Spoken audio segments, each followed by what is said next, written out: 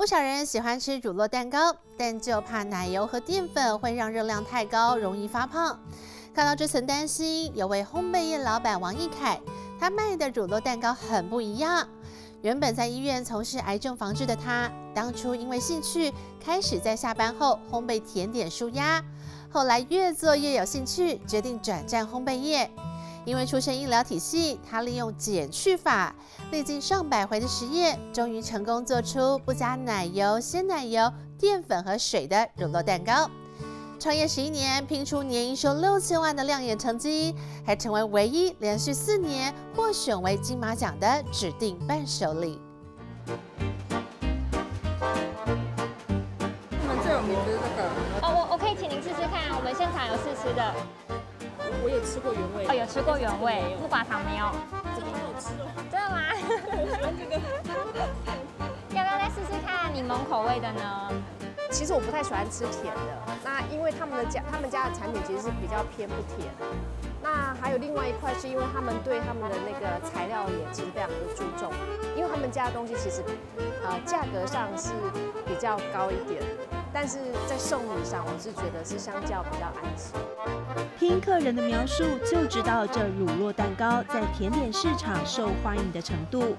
金黄的色泽，浓郁的奶香，一入口滑顺又绵密，不需要任何装饰就足以让人心动的乳酪蛋糕，不止每年卖出六千万好成绩，还连续四年获选为金马奖指定伴手礼。它口感上比较绵密，它吃起来也是我刚刚讲的比较不甜，因为外面市场上一般的乳酪蛋糕其实甜味其实蛮重的，吃起来会腻。那他们家的其实吃起来不太会腻。想品尝这一口好味道，全靠师傅们的细心准备。每天不止供自家门市，还要消化网络订单。中央厨房里一大早就已经如火如荼。这个今天是第一缸吗？对。一般做乳酪蛋糕，奶油、鲜奶油、面粉或玉米粉是必要元素，但在王义凯卖的乳酪蛋糕里看不到这些。澳洲进口的乳酪先分切成小块，要跟蛋液一起搅打的更细致。这个乳酪糊里面呢，就只有新鲜的乳酪，然后还有杀菌蛋，就这样而已，没了。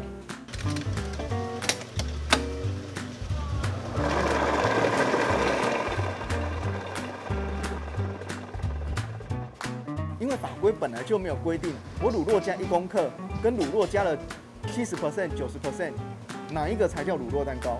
所以加少少乳酪，用了很多很多的面粉或玉米粉，这也叫乳酪蛋糕。其实那并没有错。所以我们想做一件事情是，在这里面的乳酪蛋糕，呃，芸芸大海中，我们能不能做出自己想要走的一条路？如果我们没有别的选择，那我们是不是可以自己开辟一条新的选择？因为对他来说，传统做法的乳酪蛋糕加了太多不健康的材料，糖也加得多，过于甜腻。我们目前在打发的是用杀菌鸡蛋，然后跟少量砂糖打发的蛋白。那希望呃一个好的比例的蛋白可以让乳酪蛋糕吃起来会比较入口即化，然后比较绵密。然后呢，我们也可以减少糖的用量。可以透过打发的一个技术，或者是说打发蒜头的这个膨发的比例，让乳酪蛋糕它整体很均匀的，可以好像吃到有甜度，但是它其实并不会有太多的糖。钢盆的边边跟缸子的底部一定要特别留意，一定要去刮到。王义凯试着将食材化繁为简，再用烘焙技巧弥补口感的不足。经过上百回的实验，才终于找到不用面粉、奶油和鲜奶油也能一样美味的黄金比例。光是一个六寸蛋糕，少掉的油脂就能减去一千多大卡的热量。用冰块去延缓，呃，蛋糕需要呃瞬间加热的那个拉锯，我们让蛋糕可以用焖的方式，有点像我们那种芙蓉蒸蛋，吃起来那个口感就会比较好。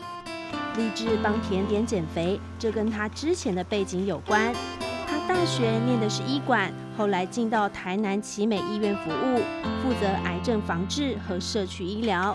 因为对甜点感到好奇，才会在下班后学做蛋糕舒压。那段期间，他正好接触到中医，产生很大的兴趣。于是决定从医院离职，一边做烘焙，一边准备学士后中医考试。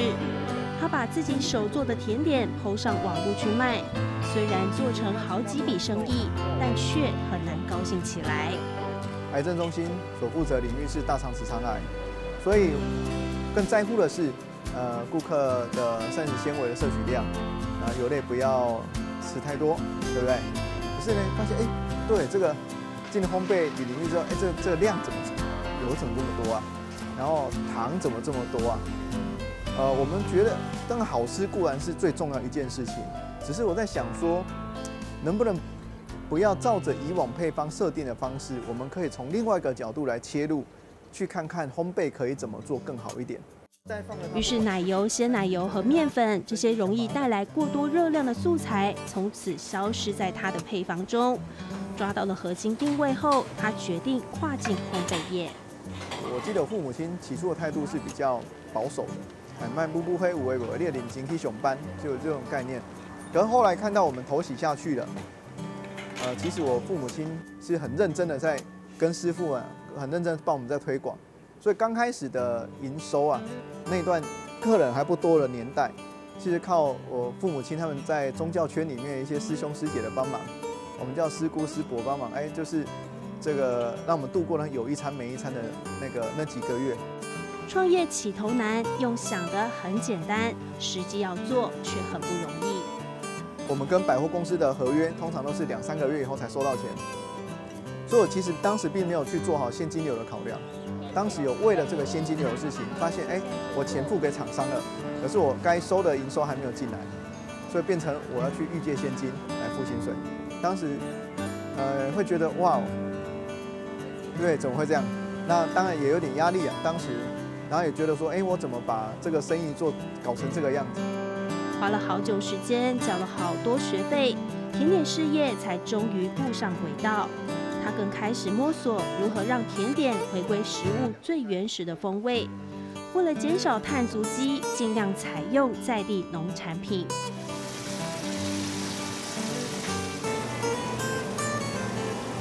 只要是草莓的产季，厨房里总会弥漫着一股草莓甜香。要做的是草莓生乳酪蛋糕。师傅们先用巧克力饼干当基底，每一片压得紧实，铺排上新鲜草莓，再挤进用乳酪打成的蓬松慕斯，接着抹平整形，冰冻后就可以享用。这款有着浓郁奶香和草莓香气的生乳酪蛋糕，吃来酸酸甜甜，口感滑顺，是每年热卖的季节限定商品。王义凯擅长用在地小农的当季农产品来变化甜点口味，师傅手里用的每一样农产品，几乎都是他和团队一个个探访来的合作伙伴。希望可以让农产品最完美的时间，除了给顾客新鲜吃到以外，那如果量真的做到一定程度的时候，赶快进行保存或加工。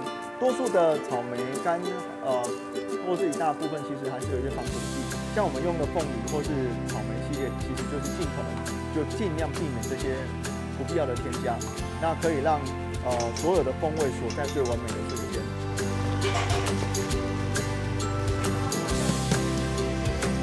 水果可能现在产量上开始有困难，比如说太大了，量太大了，它可能需要多多一些销售的力量。那我们就会想说，把这样的水果，把它季节水果把它做到我们的新的产品里面去。比如说像这款备选，我们结合的是八卦山跟关庙的凤梨，去腥之后才自现。那我们希希望说可以让。呃，凤梨可以去传递，除了凤梨酥以外，它还有其他的作品可以被品尝。善用在地农产做风味变化，也让它的甜点品牌慢慢被市场看见。二零一五年成为全台烘焙业中第一家取得碳足迹认证的业者，更首度被推荐为金马奖的指定伴手礼。对我们来说是一个非常非常好的一个传播往国际化的一个管道。那我们希望透过金马奖，把台湾土地土地上面美好的故事，可以散播给更多人知道。每一届的创作，不管是当时的功夫，或是初心的故事，每一年它都有一个特别，我们想透过金马奖跟这社会、跟国际对话的一个故事跟议题。你好，你好，这边有吃过我们蛋糕吗？哦、有，有吃过，哎、有给你吃吃看我们最近新款，好不好？好，创业十一年，王一凯慢慢走出自己的路，在甜点市场里脱颖而出。即使店面开在巷弄街，还是有不少客人熟门熟路找上门来。不光是打牙祭，也是因为认同品牌理念。用的东西都是比较那种天然健康，然后都是支持台湾在地的那个农产。对啊，就是有时候那种朋友生日啊，然后都会请我帮他们代买这样。我觉得就是简单吧，就这样简单。